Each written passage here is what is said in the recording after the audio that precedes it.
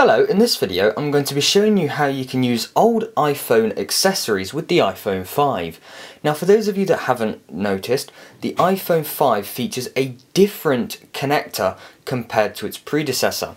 Now the previous generations had a 30 pin dock connector and the new one features a lightning connector and it doesn't take a genius to work out that they are completely different in size.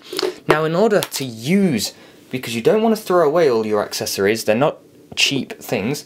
So in order to use them in conjunction, you're going to need this. This is the 30 pin connector to lightning adapter. This can be found at Apple retail stores, however you will be able to purchase it online at a cheaper price. So how does this work? Well, one end features the lightning connector and the other end features the dock connector. So what we do is we line up the dock connector with the adapter. The little icons on top indicate which way they go around and then we push things into place. Now essentially what this creates is a lightning connector lead. Then we pick up the iPhone